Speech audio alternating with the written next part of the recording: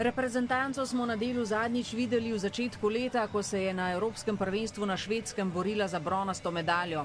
Ostala je brez nje, zaradi koronavirusa tudi brez kvalifikacij za olimpijske igre. Konec maja se je na kratko srečala v Ljubljani, zdaj pa le dočakala pravo delovno druženje. Prvo smo mogli vsi igralci opraviti korona teste in sicer uh, pokazati, da smo vsi negativni, da smo se lahko pridružili slovenski reprezentanci na tej akciji. Uh, tudi pred vsako tekmo bomo mogli delati ta testiranja. Uh, v hotelu smo tudi ločeni, imamo svoje delne prostore, kar se mi zdi uh, povsem normalno, glede na to, kakšna je situacija v Sloveniji. In uh, obvezno nošenje mask. Veselja ob ponovnem snidanju tudi maske niso skalile. Kljub vsemu je srečanje v živo nekaj povsem drugega kot nadaljavo.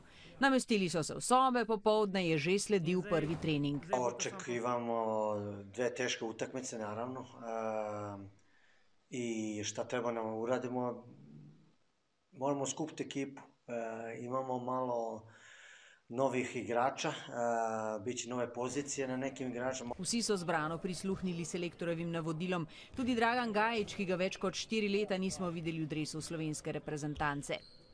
Po eni strani se počutim, kot da bom spet debitiral za reprezentanco, e, po drugi strani pa vemo, v bistvu, kam me čaka glede tekmovalnega stališča. In zato se je z ekipo takoj lotil dela. Do tekem s Poljaki imajo le 8 treningov. Kaj je cilj, verjetno ni treba razlagati.